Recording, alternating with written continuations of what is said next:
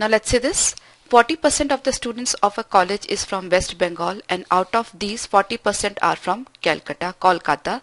What percent of the students are not from Kolkata? Okay, we take, uh, there are 100 students, right? From West Bengal, 40 students, right? So from West Bengal, 40 students and uh, uh, for uh, out of these 40 students 40% are from Kolkata. So from Kolkata 40% of 40 that is 16 students. Right? Very simple. So what percentage of the students are not from Kolkata? So only 16 students are there who are from Kolkata. So remaining 84 students are not from Kolkata as simple as that.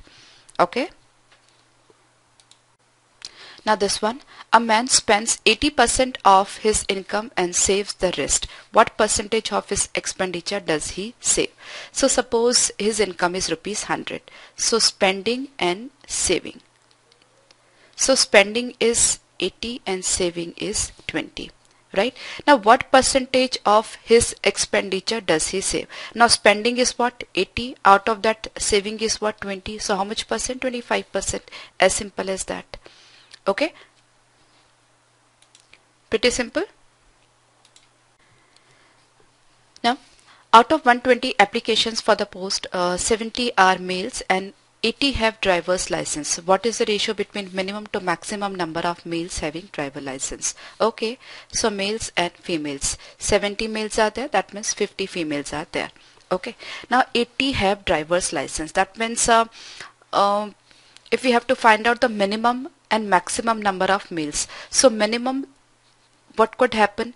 So, minimum males are having the driver license. That means uh, all the females are having the driver license right? So all females are having the driver license then only then also 50 will be consumed.